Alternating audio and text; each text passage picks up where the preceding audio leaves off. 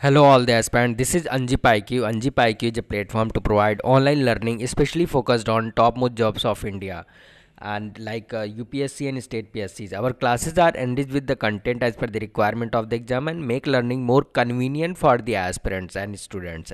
Today is 21st of Jan to 2019 and we are going to discuss our daily news analysis course जिसमें हम GS paper third की जो news आएगी उसको हम डिस्कस करेंगे और जीएस पेपर थर्ड में जो हमारे ब्रॉडली टॉपिक्स होते हैं Indian economy Indian financial system infrastructure related to like energy port road airport railway and investment environment and ecology disaster management management related to earthquake, tsunami, volcanic activity, and cyclone, science and technology related news, security uh, from internal as well as external uh, security, defense news, all those will be discussed in GS paper third.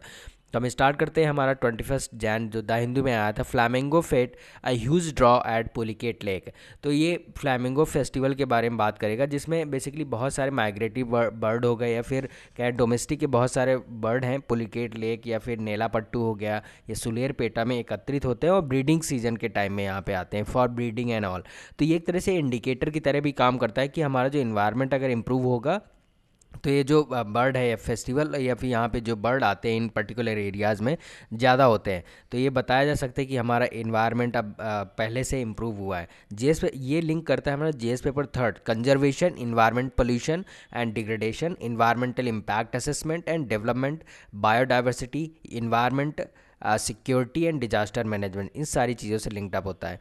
About the flamingo festival actually में ये कई बार होता है Pulicat lake में कई बार बोलेंगे, या ऑप्शन आएगा, लेकिन बेसिकली केवल पुलिकेट लेक में नहीं मनाया जाता है। This flamingo festival is celebrated at the bird sanctuary at Nellapattu Pulicat lake and the nearby जो हमारा सुलेर पेटा है, वहाँ पे मनाया जाता है of Nellore district of Andhra Pradesh अब इसमें एक क्वेश्चन ये भी होगा कि पुलिकेट लेक पूरी तरह से क्या आंध्र प्रदेश में आता है? तो ऐसा नहीं है। मेजरली जो पार्ट है, वो आंध्रा में आता है। कुछ पार्ट जो है तमिलनाडु में भी आता है। तो flamingo festival is organize every year to promote tourism in the Pulicat and Nellapattu ठीक है? नाइन्टी थाउज़ेंड बर्ड लग अभी जो पुलिकेट लेक में आई हुई हैं ninety thousand bird have come far from like like Siberia जैसी लोकेशन से रसिया में जो पड़ती है, वहाँ से माइग्रेटरी बर्ड आती है। तो एक तरह से बहुत ही अच्छा एक पिक्चरेस्क्यू बन जाता है सीनरी बन जाती है, कहा जा सकता है। Special arrangement like made to celebrate the fest तो जो स्टेट गवर्नमेंट है, उन्होंने बहुत स्पेशल अरेंजमेंट कर रखे हैं. The effort being made by the state government year after year to augment the tourist facility not only at the Sullurpeta but also in Nellapattu Atakani Thippa and Bheemunivari Palem for the benefit of the visitor to enjoy the flight of the flight of and among the birds flamingos pelicans and storks in their natural environment अब इसमें साथ में और क्या arrangement किए हैं? Launching the state festival Sullurpeta would be develop into an eco tourist hub eco tourist hub बनाया जाएगा with the better infrastructure to वो tourist in a big way like road and tourist infrastructure बनाए जाएँगे including sighting towers बनाए जाएँगे for built at the cost of three crore by the district administration तो इस तरह के अरेंजमेंट है। Apart from that plastic free बनाया जाएगा because plastic harm the natural environment of the bird and other beings local participation भी इसमें लिया जाएगा। The role of local fisherman in protecting the ecosystem even while eking out of their livelihood इससे क्या है जब टूरिस्ट आएँगे तो ऑलरेडी एक तरह से वहाँ इकॉनमिक एक्टिविटी बढ़ेंगी और इससे क्या उनको लाइवलीहुड जनरेट होता है ठीक है? Cultural program were also help to entertain the visitor who had come far like far from foreign countries as well as from other part of the India exhibition were organize as as part of the festival to create awareness among the member of gen X on the brackish water ecosystem क्योंकि Pulicat lake का जो water uh, है उसे brackish water बोलते हैं ठीक है? And the need of the arresting biodiversity loss. तो ये जो भी तरीके उसमें एग्जीबिशन में दिखाएँगे, किस तरह से हमारे बायोडाइवर्सिटी लॉस को कम किया जा सकता है। अब पढ़ लेते हैं नेलापट्टू बर्ड सेंचुरी के बारे में और पुलिकेट पुलिकेट लेक के बारे में। तो नेलापट्टू बर्ड सेंचुरी है one of the biggest habitat for the some hundreds of pelicans and other birds तो एक तरह से बहुत बड़ा हैबिटे हैबिटेट है इको सिस्टम है बहुत सारे पेलिकन्स के लिए अदर बर्ड्स के लिए। और ब्रीडिंग का एक अच्छा सा लोकेशन है जहाँ पे एक तरह सीज़न होता है आपके, अक्टूबर से स्टार्ट हो गया, अक्टूबर टू मार्च तक। तो यहाँ पे माइग्रेटरी बर्ड्स भी आते हैं ब्रीडिंग करने के लिए रूस्टिंग स्विमिंग करने के लिए ये सारा कुछ हो गया।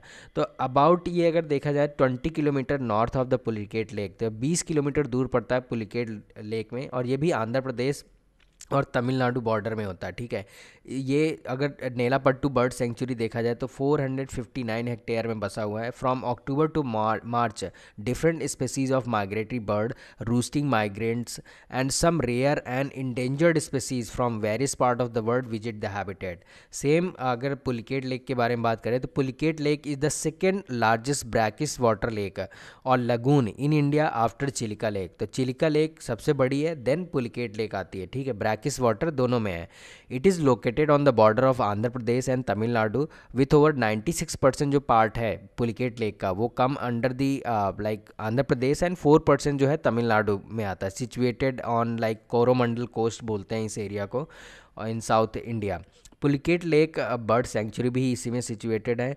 अरानी एंड कलांगी, दो रिवर हैं। ये क्वेश्चन हो सकता है कि इस जो लगून है या फिर जो एक तरह से लेक है, इसको कौन पानी पहुंचाता है? तो अरानी एंड कलांगी दो रिवर हैं। यहाँ पे एक तरह से जो इनको रिवर को पानी पहुँचाने का काम होता है, ठीक है? इनके थ्रू रिवर, पानी पहुँचता है यहाँ पर the Buckingham canal, a navigational channel is part of the lagoon on its western side. तो इसके वेस्टर्न साइड में क्या है? बकिंगम कैनाल बना है, जो बेसिकली नेविगेशन के लिए यूज़ होता है। तो आप पिक्चर में देखेंगे कि ये आपका ये जो पुलिकेट लेक हो गया, ये वाला एरिया देन नेला पट्टू यहाँ पड़ेगा, ठीक है?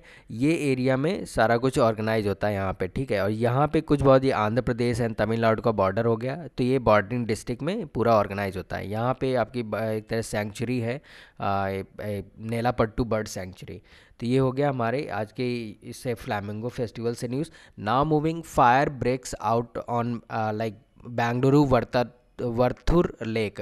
तो अभी क्या है, बेलांदुर लेक 2017 में भी एक तरह से वहाँ फायर लग गई थी। अब ये प्रॉब्लम वर्थुर लेक में भी देखी जा सकती है। रीजन ऑफ़ फायर दोनों में सेम है केमिकल एंड ट्रैप्ड हाइड्रोकार्बन्स जब वहाँ से केमिकल बहुत ज़्यादा अगर पानी में बढ़ जाएगा लेक में तो क्या है, वहाँ पे बहुत सारी केमिकल एक्टिविटी हो जाएँगी, जिसकी वजह से हाइड्रोकार्बन बन जाते हैं। और थोड़ा सा भी उसमें अगर कोई टेम्परेचर बढ़ा तो उसकी वजह से क्या है, आग लग जाती है। सीवियर पोल्यूशन अब इसमें फायर के कारण क्या है chemical and trapped hydrocarbon second sewer pollution हो गया, उसकी वजह से हो गया। Set off like spontaneous combustion start हो जाता है उसकी वजह से। देन पोल्यूशन इस किस वजह से इस ले, इन सारी लेक में पोल्यूशन होता है? सिटी वेस्ट टू लेक जो सिटी का वेस्ट होता है सैनिटेशन या जो वेस्ट हो गया, वो सारा कुछ इन्हीं लेक में जा रहा है, ठीक है? फैक्ट्रीज जो अपना जो भी बाई प्रोडक्ट है, वो ड्रेन करती हैं, जो यूज़ में नहीं आता है। And lack of waste and sanitation management system कोई भी वेस्ट एंड सैनिटेशन मैनेजमेंट का सिस्टम अवेलेबल ना होने की वजह से, क्योंकि जो सिटी का वेस्ट निकलता है, जो फैक्ट्री फैक्ट्री का वेस्ट है। फैक्ट्री के वेस्ट जो निकलता है, उसको मॉनिटरिंग रेगुलेशन नहीं हो पाता होगा, ठीक है?